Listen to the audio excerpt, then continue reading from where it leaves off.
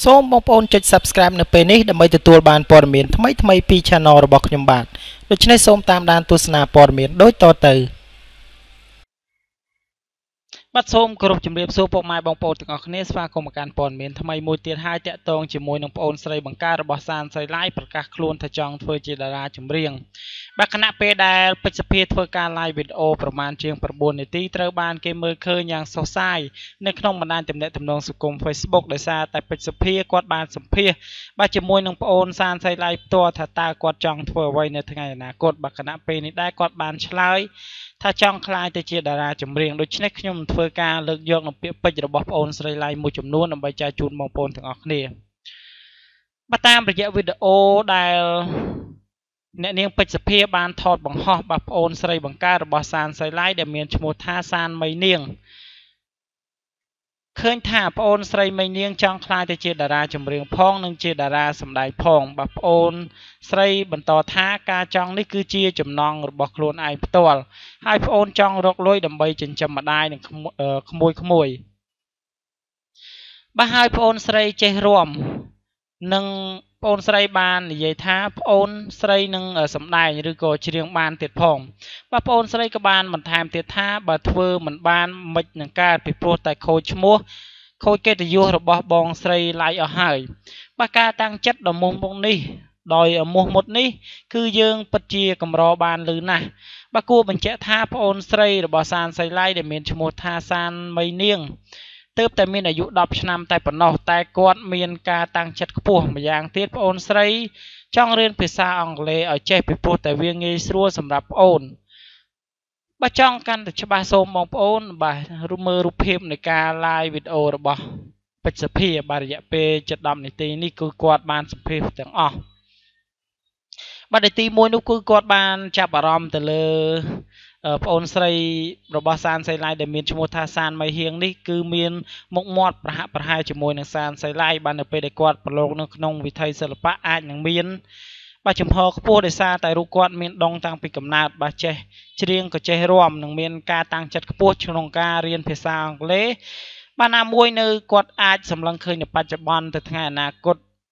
គឺគាត់អាចដឹងមុនបានថាប៉ះសិនបើគាត់ចេះភាសាអង់គ្លេសគឺនៅគាត់នៅពេលដែលគាត់ខ្លាចទៅជាតារាចម្រៀងនឹងអាចច្រៀងបទភាសាអង់គ្លេសបានយ៉ាងល្អនឹងចេញទៅក្រៅប្រទេសអាចនិយាយជាមួយនឹងជនបរទេសបានបានជាការលើកឡើងរបស់សានមីនាង ដែលជាប្អូនស្រីបង្ការរបស់សានសៃឡៃដូច្នេះសម្រាប់ព័ត៌មានខ្លីមួយនេះខ្ញុំសូមបញ្ចប់តែប៉ុណ្ណេះសូមនាំអារម្មណ៍ពុកម៉ែបងប្អូនទៅកាន់ព័ត៌មានទី2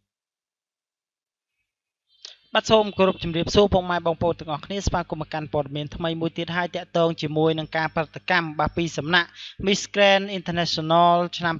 2014ធ្វើការ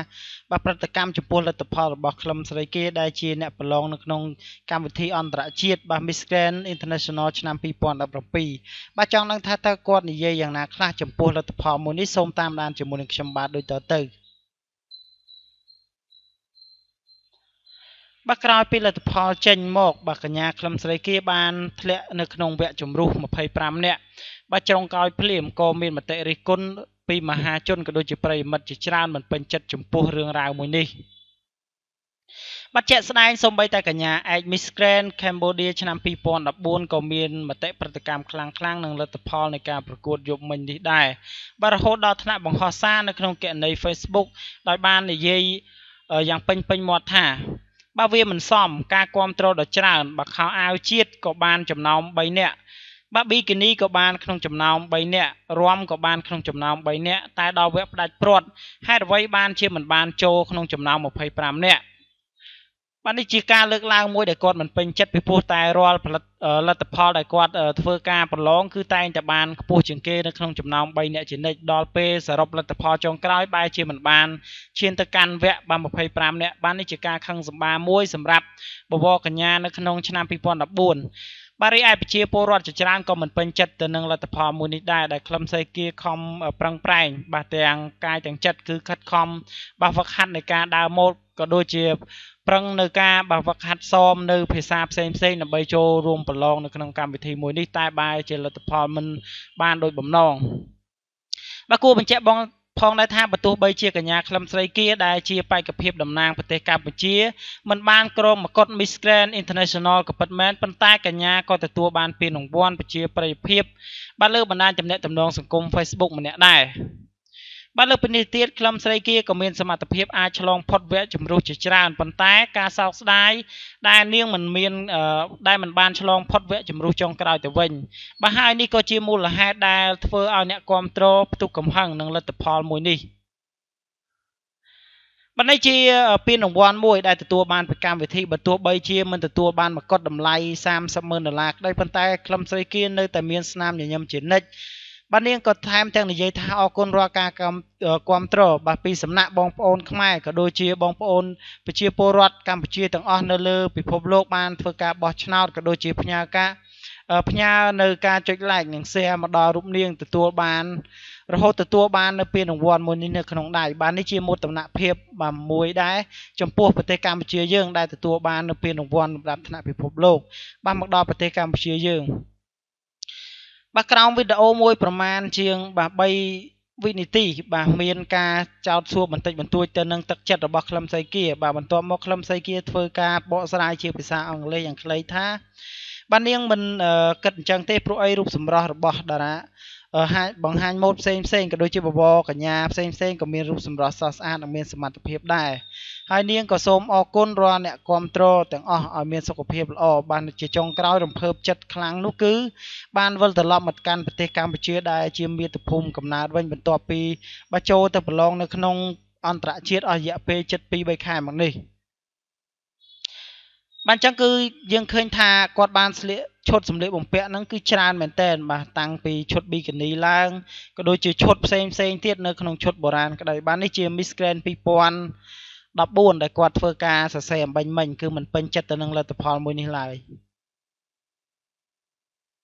បាទដូច្នេះសម្រាប់ព័ត៌មានទី2នេះដែរខ្ញុំសូមបញ្ចប់តែប៉ុណ្ណេះបាទសូមនាំអារម្មណ៍ពុកម៉ែបងប្អូនទៅកាន់ព័ត៌មានទី3 បាទសូមគោរពជំរាបសួរពុកម៉ែបងប្អូនទាំងអស់គ្នាស្វាគមន៍កាន់ព័ត៌មានថ្មីមួយទៀតហើយតាក់ទងទៅនឹងផលិតករនៅក្នុងប្រទេសជាណាចក្រកម្ពុជាដ៏ល្បីល្បាញមួយរូបនិងមានទុនច្រើនផងដែរនោះគឺលោក បាទជេងវណ្ណាគាត់បានប្រកាសនឹងបើកបាទឱកាសឲ្យតារាសិល្បៈនៅក្នុងប្រទេសជាណាចក្រកម្ពុជាយើង មានឱកាសនៅពេលយប់ដើម្បីរកប្រាក់ចំណូលបន្ថែមបាទសម្រាប់ព័ត៌មាននេះផងដែរខ្ញុំបាទធ្វើការដកស្រង់ចេញពីកហទំព័រប្រជាប្រិយដើម្បីចែករំលែកទៅកាន់បងប្អូនទាំងអស់គ្នាតាមដាននិងទស្សនាដូចតទៅថាតើឱកាសដែលគាត់ផ្ដល់ឲ្យនោះគឺជាអ្វី បាទក្រោយពីទទួលជោគជ័យលើអាជីវអាជីវកម្មបើកភោជនីយដ្ឋានយ៉ាងល្បីឈ្មោះដែលមានឈ្មោះថា WeFriend បាទលោកឆេងវណ្ណាដែលត្រូវជាអ្នកផលិតករដែលត្រូវជាផលិតករដែលមានភាគហ៊ុនច្រើននៅក្នុងខ្សែភាពយន្តកុនមួយចំនួនផងដែរនោះលោកជាអ្នកជំនួញដែលមានតំណែងតំណងយ៉ាងស្អិតរមួតជាមួយនឹងតារាសិល្បៈស្ទើរតែគ្រប់គ្នាបាទគូលោកក៏បានប្រកាសបើកចំនួនថ្មីមួយទៀតហើយ លោកបានចំណាយលុយរហូតទៅដល់60ម៉ឺនដុល្លារឯណោះបាននៅក្នុងចំនួនថ្មីនេះបាទលោកបានប្រកាសថាចំនួនថ្មីរបស់ខ្លួននឹងបើកដំណើរការនៅក្នុងដើមខែ11ខាងមុខដោយក្រៅពីការធ្វើពង្រីកអាជីវកម្មលោកក៏ចង់ជួយដល់តារាសិល្បៈដែលខ្វះការងារធ្វើបន្ថែមបាទបានបន្ថែមនៅមុខរបរក្រៅពីការសម្ដែងនោះផងដែរបាទលោកជេងវណ្ណាបាននិយាយថាចំនួនដែលលោកសម្រេច បើកនៅពេលនោះគឺជាក្លឹបកំសាន្តដោយលោកបានដាក់ឈ្មោះថា 2ND Night Club ដោយក្លឹបមួយនេះគឺមានទីតាំងនៅម្ដុំផ្លូវលេខ51ផ្លូវ Pasteur ក្បែរនឹងហាងអាហារវៀតណាមចំប៉ាតែមួយ